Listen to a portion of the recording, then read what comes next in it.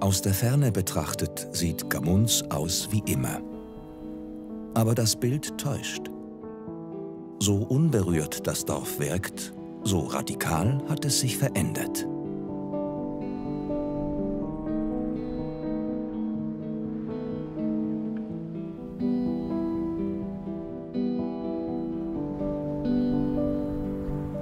Gamuns liegt in der Val Lumnezia, dem größten Seitental des Bündner Oberlandes, der Surselva. Das Schicksal des kleinen Dorfes wurde immer wieder mal öffentlich diskutiert. Gamuns ist ein Beispiel für so viele Bergbauerndörfer, die sich in den letzten Jahrzehnten dramatisch entvölkert haben. 1976 berichtet das Schweizer Fernsehen, Sie haben weniger als 100 Einwohner und sie tun sich schwer mit ihren Pflichten, die 46 Zwerggemeinden in Graubünden. Sterben diese Gemeinden Frirätiens, zum Beispiel Gamuns im Lugnitz. Das ist die Gemeinde von Gamuns. Die roten Häuser, die sind bewohnt. Die grünen Häuser, das sind Ferienhäuser. Die weißen Häuser, das sind leere. Das ist unsere Kirche und das ist unsere Schule. Im Ganzen haben wir 70 Einwohner. Bewohnte Häuser haben wir 13 und Ferienhäuser haben wir 11. Leere Häuser sind es drei. Cordelia de Rungs, die Schülerin von damals, 50 Jahre später. Hier ging ich zur Schule. Da hat das Fernsehen damals gefilmt. Heute hat Gamuns noch 27 Einwohner. Die meisten Häuser sind in fremden Händen. Auch das Geburtshaus von Gordilia de Rungs. Da sind Sie aufgewachsen? Ja, da in diesem Haus bin ich aufgewachsen.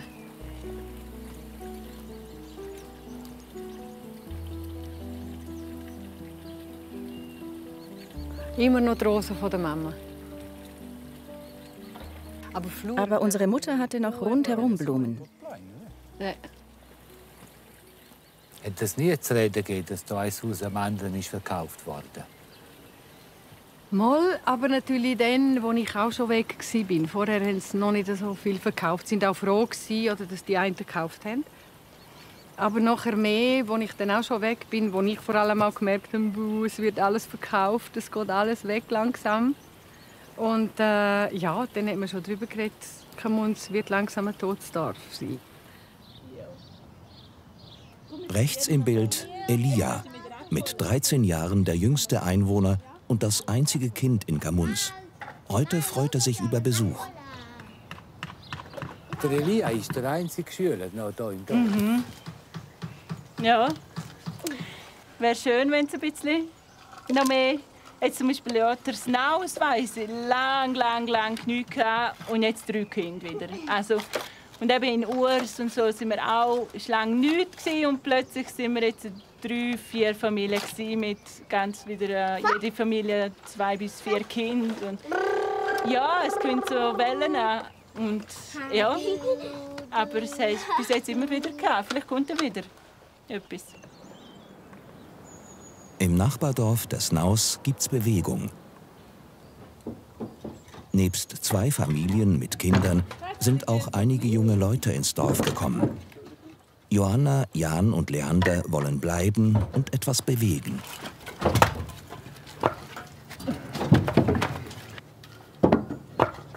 Jan Hermle wuchs in Malanz auf.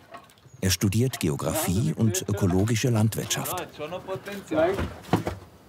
Wir hoffen, dass mehr junge Leute ähm, da sind, dass es Treffpunkte gibt und dass dort daraus dann auch wieder neue Initiativen und Projekte entstehen, wie zum Beispiel ähm, Konzert oder mal ein Theater, Diskussionsabend zu einem politischen Thema oder ähm, genau so in die Richtung. Leander Albin ist Schreiner, Lehrer und Musiker. Er ist in Tesnaus aufgewachsen, war ein paar Jahre weg und lebt und arbeitet seit zwei Jahren wieder hier. Ich wollte unbedingt weg, ja. Ich habe irgendwann schon einfach gemerkt, es ist mir zu klein da. vielleicht auch ein bisschen zu eng in diesen Strukturen oder einfach sehen, was die Welt sonst noch zu bieten hat. Wollen reisen, wollen neue Leute sehen und wollen mal auf London ein paar Monate und so Sachen. Schon die Ferne, die mich recht gezogen hat. Ja. Und doch bist du zurückgekommen? Ja. es ist vielleicht schon auch ein bisschen der Gedanke oder das Gefühl so in der Stadt. Ähm, fühle ich mich eigentlich sehr wohl mit, ja, mit, der, mit dem Kulturangebot oder was man alles so machen kann, so Grosswege und so Sachen. Ist, ist wie so, es gibt mir viel und ich lerne sehr viel. Mit der Zeit habe ich aber auch gemerkt, ich komme irgendwann nicht mehr so weiter. Ich bin oft so ein bisschen zerrissen zwischen dieser Welt hier, gerade in den letzten Jahren, und dieser Welt in der Stadt. Weil für die Menschen hier habe ich das Gefühl, bin ich wie zu wenig da eigentlich, so Jugendlichen, Jugend. In der Stadt bin ich dann auch zu wenig, so wenig, zu wenig Commitment gehabt, dass ich voll dort ein Projekt mitgemacht habe. Und kann vielleicht nicht so viel bewirken, wie wenn ich an so einem Ort etwas bewirke. Ein selbstbestimmtes Leben im Einklang mit der Natur. Das ist heute ein starker Trend, vor allem bei jungen Menschen im Unterland. Die Luzernerin Joanna Horny arbeitet in Wals als Heilpädagogin. Fühlen Sie sich angenommen? Ja, ich glaube schon. Also, ich bin jetzt einfach auch da. Es ist, glaube ich, ein das. Es ist jetzt nicht das, äh, wow, was macht ihr da, sondern so, hä, was machen jetzt die Jungen da? Und aber wenn man sich ein bisschen Mühe gibt, um in Kontakt zu kommen, oder eben so Sachen, die wir mit dem Dorf machen, wie so Dorfkonzert letzten Sommer, oder das Suppenessen jetzt den Winter, dann ist es wie so, dann macht man Sachen mit den Leuten und für die Leute ein Stück weit auch. Und das schätzen sie eigentlich schon.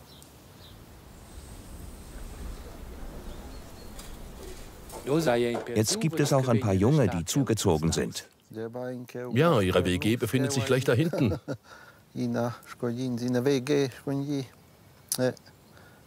Es ist schön, wenn sich neue Leute hier niederlassen. Das haucht dem Dorf wieder etwas Leben ein, bevor uns hier noch alles abstirbt.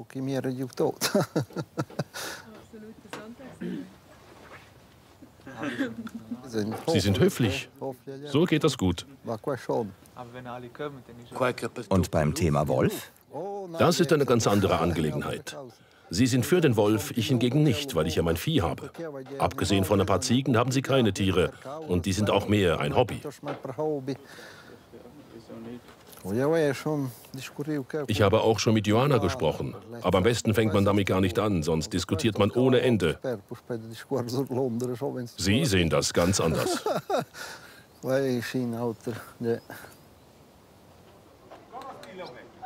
Das ist das Haus der Großmutter von Cordelia de Rungs. Es ist 320 Jahre alt und die Renovation ist ihr großes Projekt. Ciao. Hallo. Ciao. Was ist das hier? Unter diesen Brettern wurde damals isoliert. Schau an.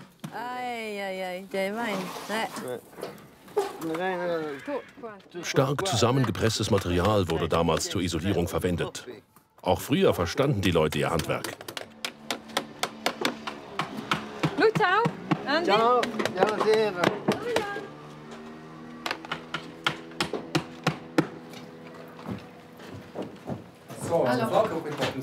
Cordelia de Rungs und ihr Mann haben eine gute Million Schweizer Franken in den Umbau investiert. Zu viele Erinnerungen sind mit diesem Haus verknüpft.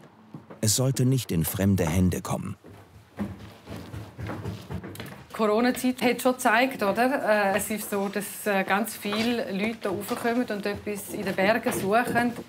Aber das ist jetzt nicht darum, machen wir das, sondern weil das wirklich das Haus ist von der Großmutter, weil wir unsere Wurzeln hier haben. Das ist der Grund, dass wir wieder zurückkommen. Und da freuen Sie sich drauf? Ja, sehr.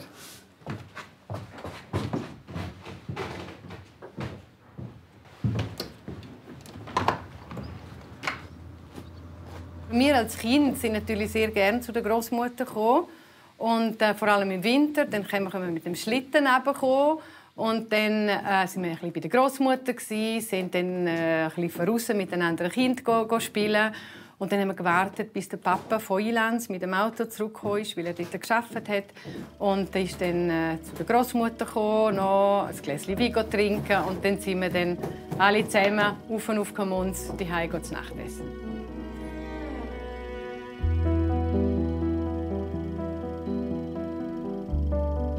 Was schön war, ist, dass wir vor allem auch eine grosse Freiheit hatten. Wir sind nicht immer behütet worden.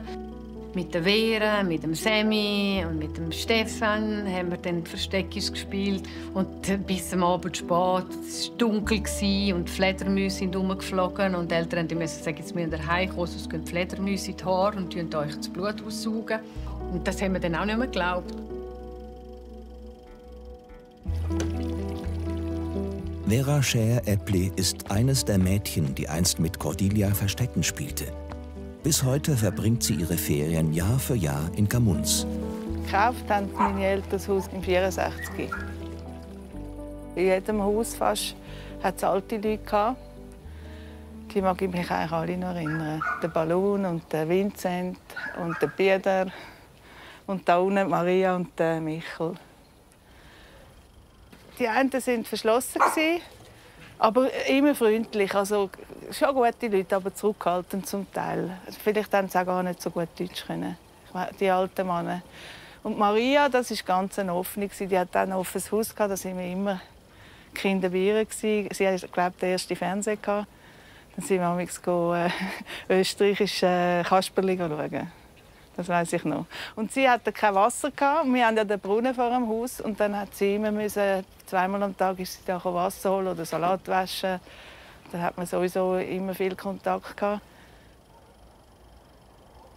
Es hat viele Kinder gehabt. Ich habe da oben fast mehr gespielt mit Kindern wie, wie bei mir daheim. Also, weil die alle so nah waren, da hat man sich gut können treffen. Und die sind alle weg. Also außer der eine, der bauert und sein Bruder. Aber sonst sind die Jungen gegangen eigentlich. Theophil de Rungs ist einer, der geblieben ist. Der Bauer nähert sich dem Pensionsalter. 40 Jahre lang waren seine Frau und er tagtäglich eingespannt. Keiner der beiden Söhne will den Betrieb übernehmen. Nun suchen sie einen Pächter. Noch haben wir keine Nachfolger. Ich meine, wenn wir den Betrieb ausschreiben, dann gibt es mehr als genug Interessenten. Dann sehen wir das. Ja. Aber was sind so die größten Hindernisse, um jetzt auf Kamuns zu bauen? Ja, das größte äh, in unserem Fall ist das Wohnen. Keine Wohnung um. Aber es hat ja jene Häuser hier in Kamun. Ja, die Häuser sind praktisch alle verkauft. Da haben schon ganz früh alles verkauft, was rum war. Warum eigentlich? Keine Ahnung. Weil die sind eigentlich ausgewandert oder ausgewandert größere Städte gewohnt. Und dann haben sie verkauft. Und städtlich kommen daher. So ist es.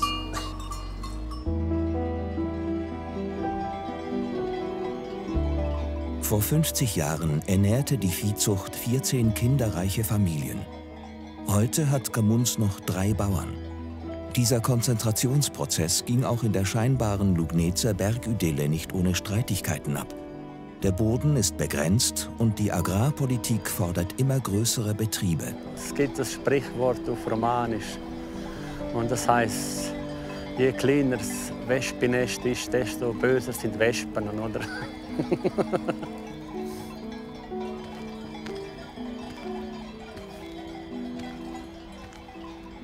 läuft? Es läuft, ja.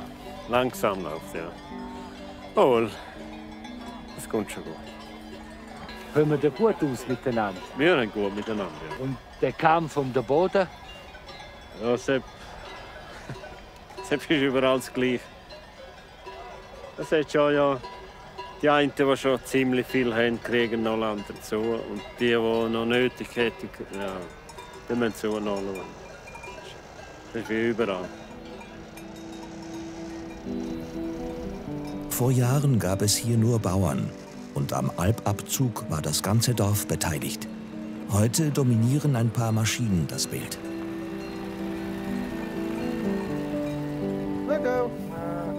Und die Bauern sind eine kleine Minderheit.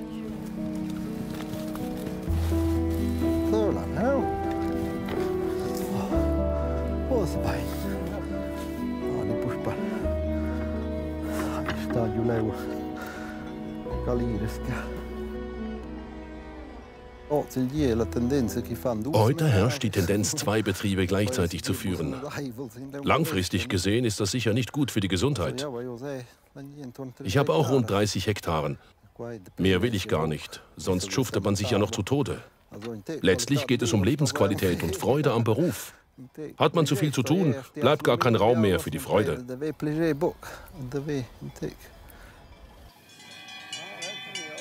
Im Laufe der 1960er, 70er Jahre kamen immer mehr Bauern die Freude an der Landwirtschaft abhanden. Einer nach dem anderen verließ das Dorf.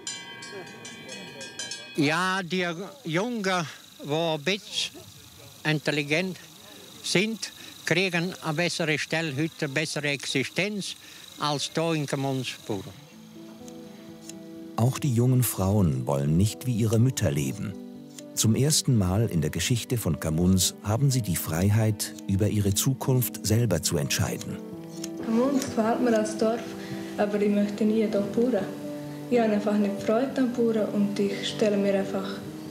Also Zukunftspläne habe ich nicht, aber ich möchte einfach irgendwo fortgehen. Es trifft zu, dass die Intelligenteren, die wandern ab, die lernen einen Beruf und wandern ab. Aber es hat natürlich auch ganz wenige Intelligente, die da bleiben und Landwirtschaft führen. Aber es sind halt zu wenig, um irgendwie eine Gemeinde lebensfähig zu erhalten.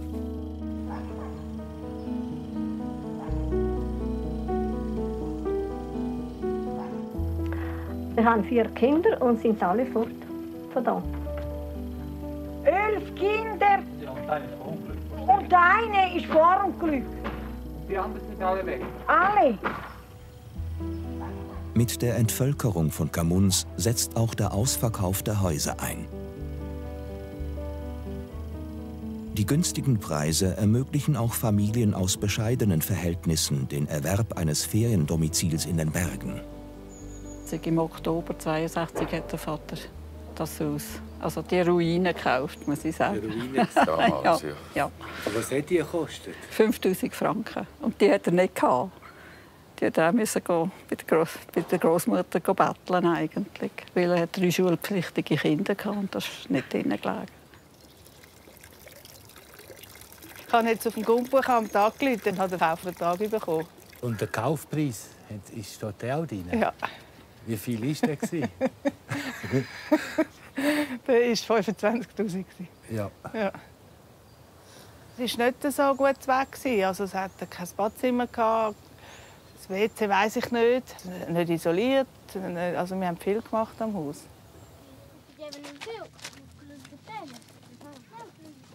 Es ist dann mal so eine Untergangsstimmung.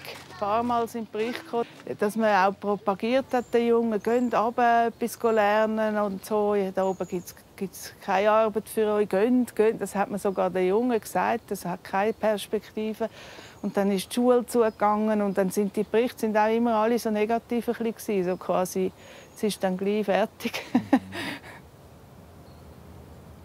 Als Linus Lievers 1991 nach Gamuns zieht, hat man im Dorf seit 14 Jahren keine Geburt mehr verzeichnet. Meine Frau und ich mit zwei Kindern sind im 91 hier angekommen. Und zwar haben wir wirklich das Glück gehabt, dass man hier in Kamunz eine Stelle kreiert, um eine Familie anzulocken. Und die Stelle hat so ausgesehen, dass man, dass man äh, Posthalter und Kanzlei äh, gemacht hat. Postleiter und Kanzlei hat dann 100% Stelle gegeben. Meine Frau und ich wir haben das geteilt, dann die Stelle. Sie hat 40% Kanzlei gemacht und ich 60% äh, der Posthalter. Als ich hierher bin, waren wir 44 Leute. Also mit mir, mit meiner äh, Familie, vier Personen, haben wir praktisch 10% der Bevölkerung gestellt. Oder? Und dann haben wir selber aktiv angefangen zu suchen. Wir haben einmal geschaut, hat es Wohnungen, hat es Leute, die Interesse haben, um hierher ins Dorf. Und am Schluss sind dann doch noch ein paar Familien dazugekommen. Und eine Weile lang hat Kamunz äh, 15 Kinder gehabt. Aber alle halt im gleichen Alter, so wie meine ungefähr. Und das ist dann halt genau das passiert. Die werden älter und fliegen aus und wir Alte bleiben zurück. Und jetzt hoffen wir wieder, dass es irgendwie weitergeht, dass es ja, nicht ausstirbt. Auch Cordelia de Rungs war damals gegangen. Die Schülerin, die im Fernsehfilm ihr Dorf so souverän erklärte, hat im Unterland Karriere gemacht. Die ausgebildete Logopädin ist eine gefragte Spezialistin für Autismus. Ja, es ist wunderschön da. Wir geniessen das auch. Wir sind auch sehr gern da. So schön wie es hier auch ist, aber die Berge, die Weite, das einfache Leben vielleicht auch, die Ruhe, nicht so eine Hektik vielleicht auch, ja, es zieht uns einfach wieder zurück und dann sehen wir dann, wie es aussieht. Ob wir dann mit dieser Ruhe auch wirklich umgehen können. Vorläufig aber lebt Cordelia de Rungs noch in Oettwil an der Limmat zusammen mit ihrem Mann Daniel Katomen. Er ist Marketingleiter eines global tätigen Beleuchtungsunternehmens. Teilt der Daniel deine Begeisterung auf Kamuns zu ziehen? Ja, jetzt schon. Also vor ein paar Jahren war es für ihn noch ein schwierig. Er hat so das Gefühl, ah, Kamuns, das ist so weit weg, das ist, das ist schon so weg vom Schuss und alles. Ja, und äh, dann haben wir noch ein bisschen Zeit gelassen und dann mit den Jahren hat er gemerkt, wie schön das Kamuns ist, wie schön dass mein, dass mein Herz schlägt. Und dann äh, hat er gesagt, doch, jetzt bin ich so weit, doch, wir tun das jetzt umbauen. Und das freut mich natürlich riesig, dass wir das machen können. Ist das so gegangen? Ja, es ist natürlich immer ein Prozess hinten dran. Oder? In jungen Jahren haben wir natürlich anders funktioniert, aber das ist ja auch normal. Das ist etwas, was wir immer wieder seit Jahren feststellen und jetzt denke ich, je länger, je mehr sogar noch. Trotz der langen Distanz, um die jetzt weg sind von hier oben, beruflich da sind, jedes Wochenende, jedes Mal, wenn du in die Ferien gehst, rauf, du merkst einfach, es, es schwingt da etwas mit. Es ist eine Energie da, wo man sich wohlfühlt. Es ist die Mentalität, es ist Kultur, es ist Landschaft und alles. Und da muss man sagen, die Wurzeln sind da, die sind spürbar. Also ist etwas um. Und es ist ja nicht negativ gegenüber dem, was wir hier haben. Aber es ist einfach eine Kraft da, wir sagen, da fühlen wir uns wohl. Und darum ist es neuliegend, dass wir jetzt auch den Kreis weiterziehen.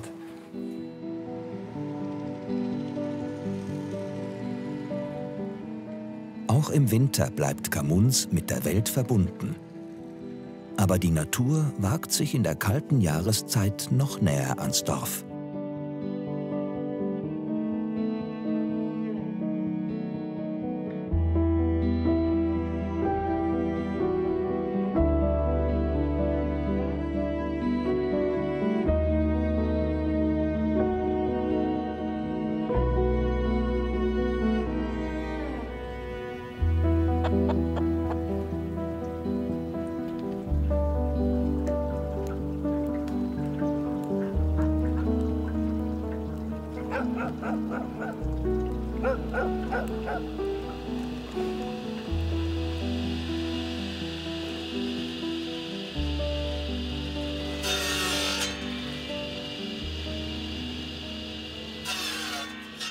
Theophil de Rungs ist zufrieden. Er hat einen Pächter für seinen Betrieb gefunden. Sind Sie froh? Ich bin froh, ich bin heilfroh, dass wir jemanden gefunden haben. Und gute Nachfolger? Es kommt hinaus. Also, ich meinte wohl, ja. ja. Aus der Gegend? Ja, aus der Gegend, ja. Einmal der Bursche, sie ist vom Unterland, die Freundin. Aber die haben an anderen Interesse und im Betrieb, ja. Und wie ist es mit dem Wohnen hier in Tamuns? Das ist eben das Problem. Aber dort sind wir jetzt auch dran. Vielleicht, ja. Wir hoffen es mal. Vielleicht was? Eben, dass wir das Haus kriegen, wo, wo wir im, im Sicht haben. Ja. Welches ist das denn? Das wird das Gemeinshaus. Gleich neben Theophil Derungs Heim steht das fragliche Haus. Es gehört der Gemeinde und ist seit Jahren an Unterländergäste vermietet. Nun sollen sie einer Bauernfamilie Platz machen. Das sind jedes, praktisch jetzt die Zeit, praktisch jedes Wochenende jemand anders in dem Haus drin. Und das wäre eine Familie, die dazukommt. Die wäre das ganze Jahr da. Finde ich, wäre es eigentlich mehr Sinn, so zu verbracht als ja. Wann kommt das raus? Ja, im Sommer, Sven. Ja. Hoffe ich. Also. Ah, die Tierfamilie. Familie. In Tersnaus hat Familie Albin einen sanften Agrotourismus aufgebaut.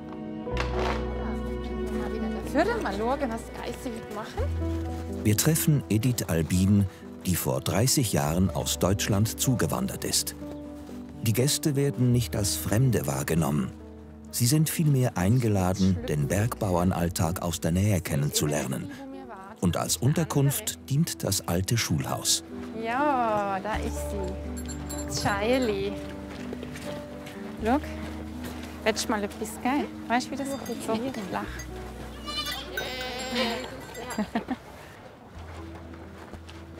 Es ist jetzt schon das dritte Jahr, wo wir da bei der Edith und dem Robert im Schulzimmer äh, unsere Ferien verbringen. Im Winter meistens. Und wir waren auch schon im Sommer da. Gewesen. Und schon an der Ostern. An der Ostern? An der Ostern auch, haben wir ja. zusammen Ostereier gesucht. wir wollen ein bisschen die Welt reinholen in unser kleines Dorf. Und wir suchen wie einen äh, Kulturaustausch, kann man fast sagen. Also wir wollen ein bisschen von unserer Welt mitgeben und wir wollen von der Welt von den anderen etwas mitbekommen. Und wir haben ja, einen wirklich einen regen Austausch, auch über das, was wir machen, warum wir das machen, wie wir das machen, was unsere Motivationen sind. Und es gibt immer wunderschöne, intensive Gespräche und Erlebnisse miteinander. Wo ist er, Leo? Melvin. Jede. Oh mein. Einseitiger Spaß.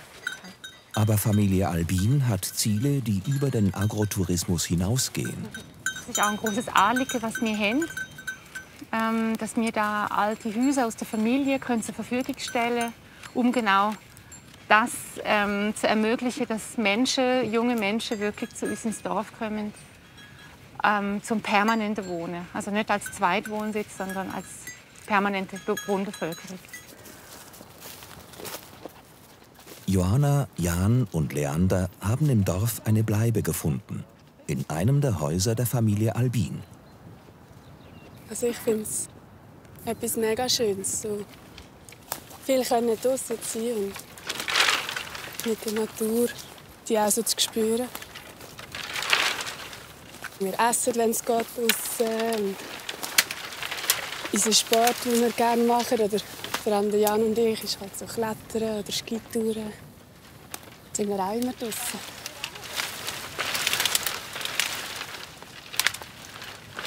ist so die Nähe zu der Natur und ja, so, so schnell können so weit draußen sein.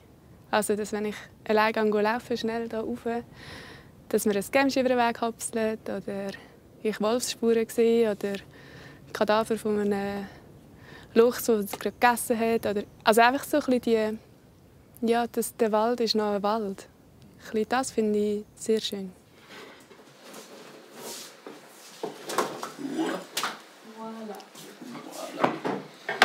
Fein.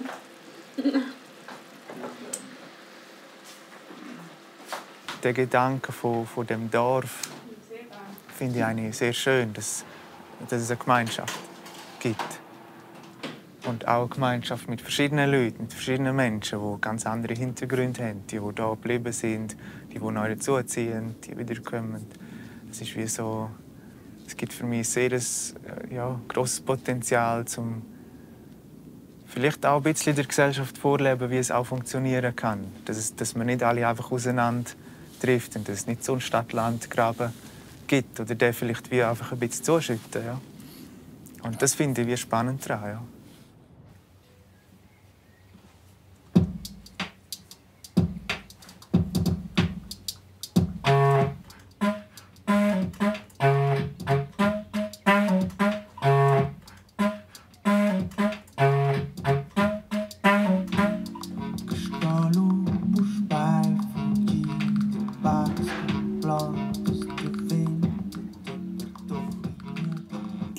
Hat sich inzwischen einiges verändert.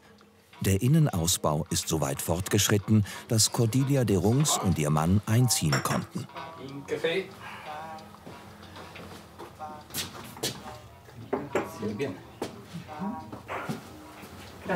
Grazie.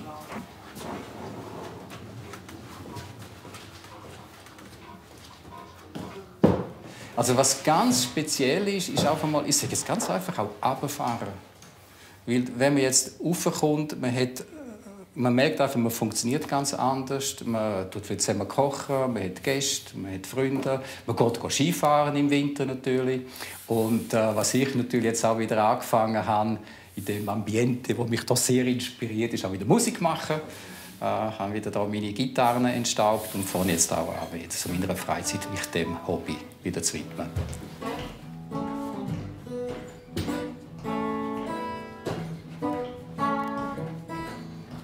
Wir haben eigentlich ganz viele Ideen.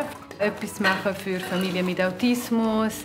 Je nachdem auch eine Gaststube für die, die mit dem Velo fahren oder die, die wandern oder so. Aber schlussendlich schauen wir, was es daraus gibt. Alles kann man nicht vorausplanen. Man muss gewisse Sachen auch einfach entstehen lassen. Vermieten? Äh, also hier, den Teil oben dran würde man sicher nicht vermieten. Wenn dann äh, die, die Wohnung, die im ersten Geschoss ist, aber das ist auch noch nicht so reif. Das kann sein, dass jemand vielleicht permanent hier wohnt. Wenn ich je nachdem etwas mit Familien würde machen dann wäre das auch so, dass die Familie dort könnte wohnen Aber ähm, ja, das ist noch nicht ganz reif.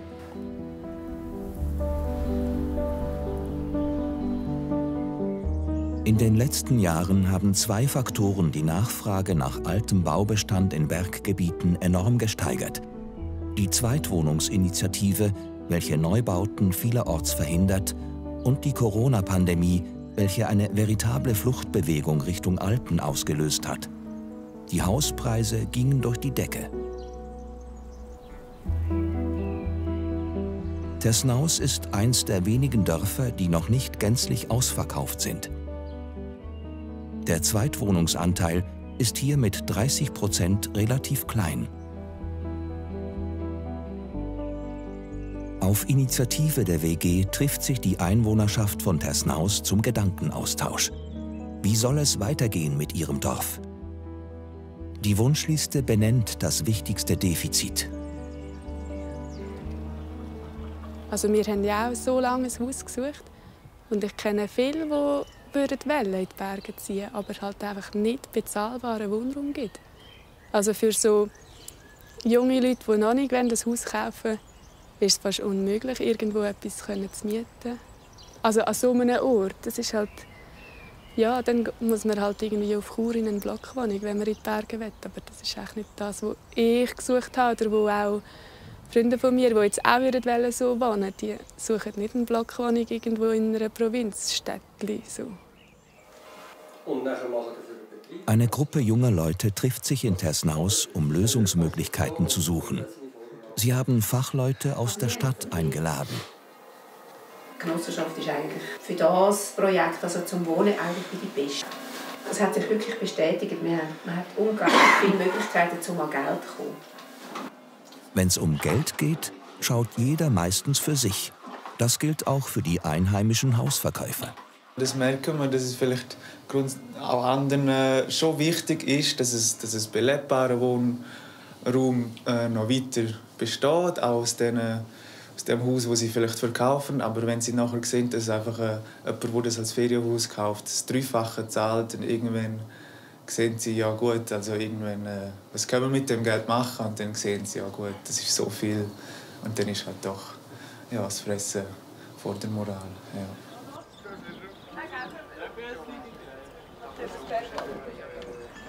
Das heute gibt jetzt schon auch viel Anfangsenergie. Es hat eigentlich noch Häuser. Es hat noch nicht so viel Tourismus, weil wir keinen Skilift haben. Und es hat mega coole Leute im Dorf, wo, oder auch in den umliegenden Dörfern, die glaub, das wirklich auch schätzen, wenn da junge Leute oder eben Leute, die einfach da sind. Es geht gar nicht ums Alter. Aber einfach Leute, die da sein wollen und hier leben und sich hier einbringen. Und ich glaube, da so die Verankerung dann auch zu spüren, so, ah ja, es wird auch ein bisschen getragen. Das ist schon noch schön und lässt einem so ein bisschen Hoffnung schöpfen. Aber eben jetzt, heute ist auch so aufgekommen, die Gemeinde involvieren. Das weiß ich jetzt zum Beispiel überhaupt noch nicht, ob die irgendein Interesse haben daran. Daniel Soler ist Präsident der Gemeinde Lunetia. Ihm ist das Problem durchaus bewusst. Je höher der Anteil an meist leerstehenden Zweitwohnungen, desto drückender der Mangel an bezahlbarem Wohnraum für Einheimische. Wir sind jetzt dran, um aktiv allenfalls Land zu erwerben, kaufen von, von privaten Leuten und das dann so im Baurecht äh, Familien abzugeben. Das wäre ja auch zahlbar für die Leute. Es könnte ja sein, dass wir sagen, äh, allenfalls bauen, selber bauen. Vielleicht äh, gibt es Genossenschaften, die man bilden kann. Und mit denen zusammen das realisieren und dann für wirklich einheimische, junge Familien zur Verfügung stellen. Für einen guten, zahlbaren Preis. Wir haben da noch ein bisschen links. Kannst du ja noch sie dazu nehmen. Würde die Gemeinde so einen WG unterstützen? Ich glaube, da müssen wir einmal wissen, wie, wie, wie haben sie vor, um das zu machen. Wie, wie soll das aussehen? Und ich glaube, da sind wir mit offenen Ohren. Sie sollen zu uns kommen und dann glaube ich, wenn das gute, gute Konzept hat und eine gute Idee, glaube ich, wären wir bereit, auch zu unterstützen, so, so Sachen.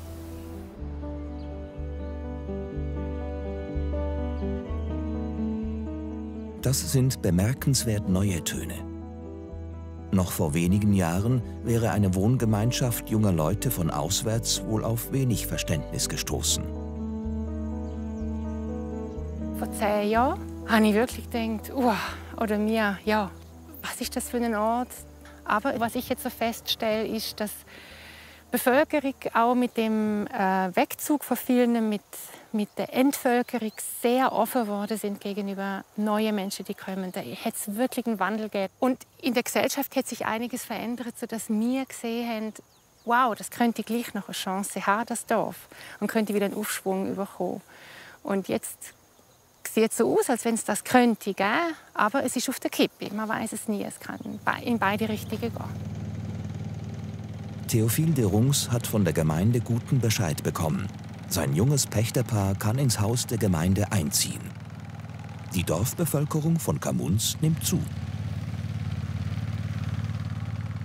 Zum letzten Mal bringt er mit seiner Frau die Heuernte ein und erinnert sich. Als ich es übernommen habe, haben wir vielleicht etwa 10 Hektar, zwei, drei Kühe und ein paar Jungvieh. Also, dann ist das praktisch von Jahr zu Jahr ist das gewachsen. Hast du hier ein bisschen Land gekriegt, dort hast du wieder ein bisschen Land gekriegt. Auch auswärts habe ich Land bewirtschaftet. Und dann noch, noch haben wir dann hier Land gekriegt. Dann haben wir das andere dann zurückgelassen.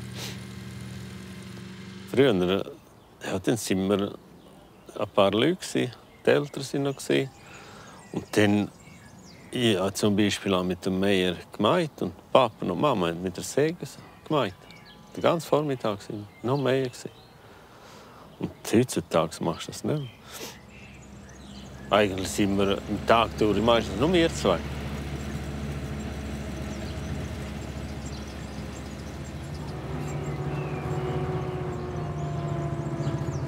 Früher, wenn du durch das Dorf durch bist, hast du ein paar Personen begegnet. Jetzt siehst du meistens keinen Menschen nicht. Und früher ja, hast du noch ein Gespräch oder zwei können halten im Dorf. Und jetzt ja, wenn Fremde um sind, dann kann man schon in ein Gespräch hineinkommen mit den Fremden. Aber das Dorfleben im, im eigentlichen Sinn, Kommunserleben, das ist... Das ist vorbei eigentlich. Also wie es früher war, das, jetzt ist eigentlich nicht mehr. Es ist auch nicht so, dass ihr jetzt die paar wenigen untereinander großen Kontakt hätten. Nein, praktisch kein Kontakt mehr nicht. Du siehst etwa die vorbeifahren und sonst. Das ist eben schade, dass, dass das nicht mehr ist.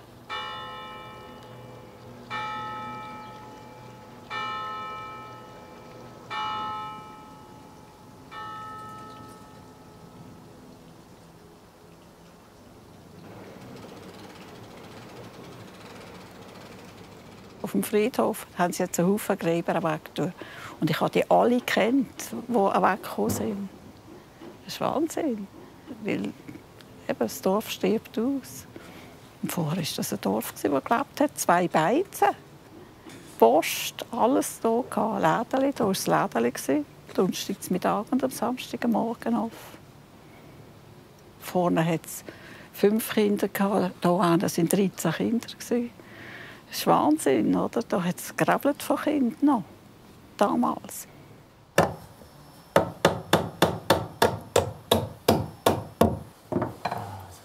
Die WG von Tersnaus will unter anderem jungen Leuten aus dem Unterland das Probewohnen im Berggebiet ermöglichen. Es ist eigentlich die Idee, dass da in dem Raum, wo wir jetzt sind, gibt es dann so einen Gemeinschaftsraum. Und das Zimmer, das wir drin gelassen haben, das ist ein Schlafzimmer nochmal. Mit der Idee, dass eins bis zwei Leute mehr in diesem Haus wohnen können. Ja, jetzt ist ein Haus ist eben gerade weg. Es geht schnell. Ja, gerade das da unten. Also weg, vielleicht. Wir wissen nicht, aber wir wissen auch, dass es wieder Ferienwohnung ist. Und das ist halt wieder ja, ein Wohnraum, der wieder weggeht als ständiger Wohnraum. Es war über eine Million ausgeschrieben. Vor fünf Jahren wäre es ein Viertel davon gewesen. Aber äh, ja, mal schauen, wer das ist. Wir kennen sie noch nicht. Vielleicht sind sie super sympathisch und ich glaube, schlussendlich müssen wir sicher schauen, die, die halt jetzt da sind, auch wenn sie noch in der Ferien sind, oder ich glaube, sie können, wir müssen sie trotzdem können willkommen heißen und ja, ich glaube, das Beste daraus machen, weil wenn wir, wenn wir jetzt irgendwie dagegen ankämpfen, klar ist es ein bisschen Frust, aber vielleicht ist es auch sehr schön, vielleicht ist es jemand, der sich sehr interessiert für das Leben da oder sich auch einbringt. Und dann kann es wie auch ein Gewinn fürs Dorf sein. Ich glaube, wir müssen das auch ein bisschen so sehen, nicht immer so starr. Mhm. Nur die, die hier wohnen, sind etwas wert. Also von dem her. Andreas Albin gefällt es in Tersnaus, so wie es ist. Die WG beobachtet er mit Interesse, aber auch mit einer leisen Skepsis. Schon recht, wenn Leute zuziehen. Die machen aber auch nicht viel für die Dorfentwicklung. Sie leben einfach und haben vielleicht nicht die Mittel, eine Familie mit Kindern aufzuziehen. So entwickelt sich das Dorf kaum weiter, wenn nur ein paar wenige kommen. Viel ändert sich meiner Meinung nach nicht.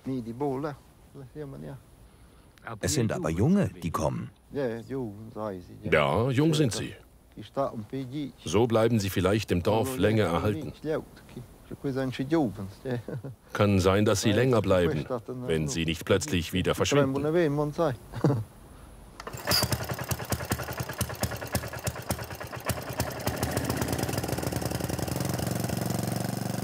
Derweil versuchen Jan und Leander, eine alte Maschine zum Leben zu erwecken. Sie bereiten ein Theaterstück vor, in welchem der alte Heuwender als Perkussionist auftritt.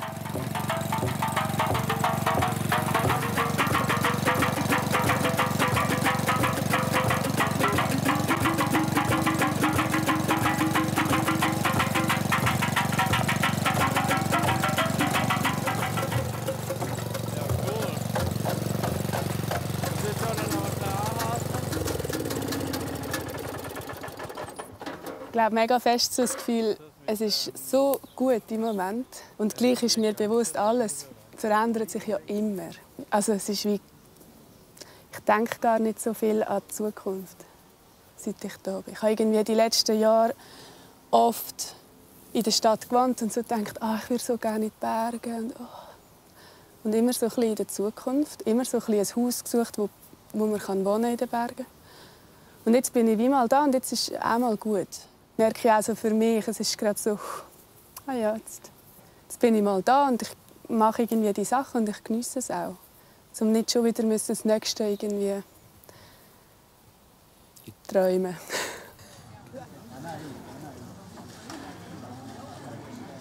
In Kamuns wird Großmutters renoviertes Haus eingeweiht. Also, es freut mich sehr, dass wir alle zusammen sein können.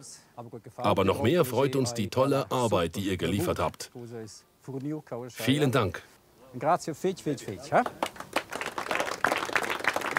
Das hat Charakter. Man Man spürt das Haus. Ja, es ist Raum, man Da- spürt das Haus. Genau. alle, sogar die Arbeiter, die hier gearbeitet haben und Leute, die aus Haus gekommen Ja. sind, haben gesagt, in diesem Haus fühlt man sich einfach wohl. Und das sind 320 Jahre, wo das Haus Leben hatte, Mhm. drin hatte.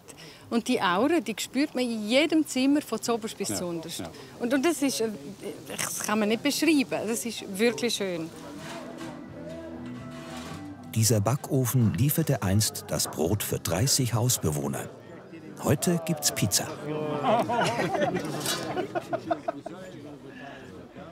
Unsere Generation, und das ist ja typisch, wenn man schaut, die alten Substanzen, die aufgekauft werden und umgebaut werden, das sind natürlich Leute, wo die Kinder schon erwachsen sind, die nicht Familien hier aufbringen. Demzufolge gibt es natürlich auch dem keine Schule und so Strukturen. Und auf der anderen Seite hat man natürlich junge Generationen, junge Familien, die, wenn die hierher kommen nachdem finden sie gar keine Möglichkeit zum Wohnen, sei das zum Teil zu mieten oder auch zu kaufen. Und das wären ja die, die dann Kind hätten, damit Schulen belebt werden. Also es ist eigentlich durch einen Widerspruch, so zwei Pole, die sich irgendwie im Weg stehen. Und das ist eine sehr große Frage, die politisch wirtschaftlich muss gelöst werden, wo wir jetzt nicht können, äh, etwas dazu beitragen. Aber das muss eigentlich irgendetwas muss da passieren. Unser letzter Besuch führt uns ans Kulturfestival Poitsch, das die WG von Tesnaus zusammen mit vielen Freiwilligen von auswärts seit 2018 organisiert. Das kulinarische Angebot ist vegan. Die Preise sind nicht bindend. Es geht darum, dass alle so viel geben, wie sie wollen oder können. Dass man wie nicht davon ausgeht, dass alle gleich viel Geld haben. Und dass es zugänglich ist auch. Also es geht mega fest um das, dass alle können kommen, die wollen, auch die, die gar kein Geld haben, können kommen. Ist auch okay.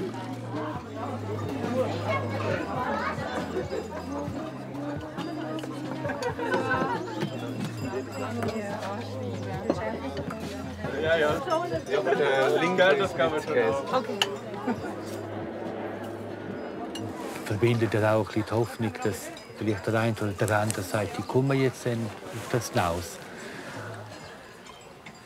Ich glaube, Hoffnung nicht unbedingt, aber schlussendlich sind die, die es organisiert haben, schon vor drei Jahren, auch die, die jetzt hier wohnen zum Teil. Also ich glaube, es gibt wie so, es gibt dem Ort etwas, ein, andere, ja, ein anderes Gefühl vielleicht oder eine andere Perspektive, dass das da möglich ist.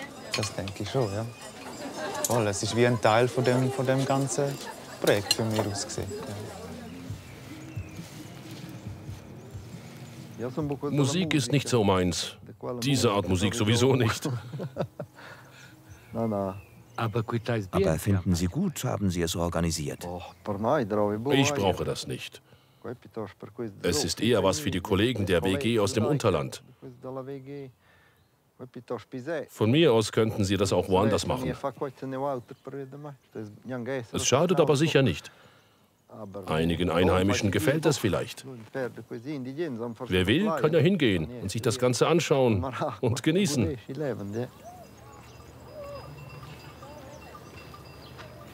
Es ist eine riesige Freude. Sie überzeugt mich wirklich mit dem Herzblut, mit dem sie bei der Sache sind und dem Gemeinschaftssinn, vor allem Gemeinschaftsgeist. Und was die auf die Beine stellen, ist großartig. Also, ob das denn bleibt, wissen wir nicht. Aber dass ein neuer Schwung rum ist und ähm, dass da etwas Neues kann entstehen, das, ist, das zeigt das Festival. Und wir sind da sehr offen und sehr hoffnungsfroh auch. Ja.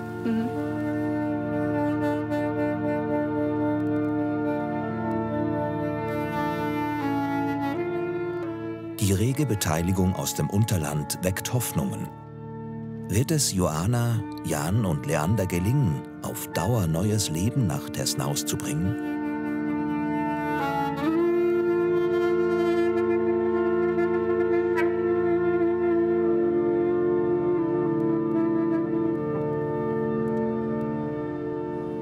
In Camuns wird sich in den nächsten Jahren wohl nicht viel ändern.